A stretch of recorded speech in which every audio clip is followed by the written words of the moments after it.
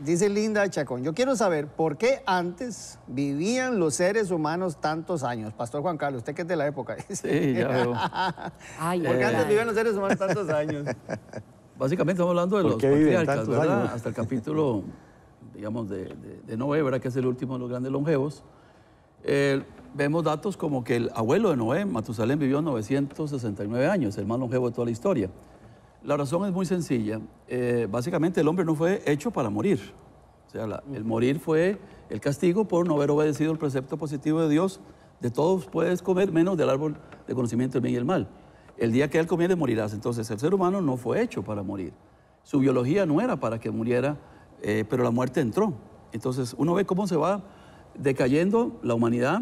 Antes no había las enfermedades que hay hoy en día, bacterias, virus y demás que acechan con la gente. Entonces por ese proceso de ese cuerpo que tuvimos al principio, el cuerpo adámico, nos permitía tener una vida más larga.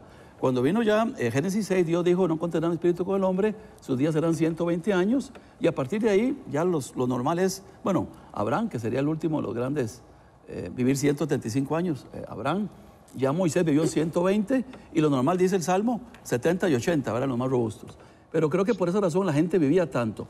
Algunos han dicho que, que es que no eran años solares como los nuestros, sino que eran ciclos lunares. Entonces, en vez de decir 969 años, son 90 años. Pero no, no creo que esa sea una explicación razonable. Creo que eran años de verdad, pero es básicamente porque la humanidad creada al principio no fue hecha para que muriera tan rápido como nos pasa hoy en día, sino que nuestro cuerpo era para eh, estar de manera permanente con Dios y teníamos hasta acceso a un árbol.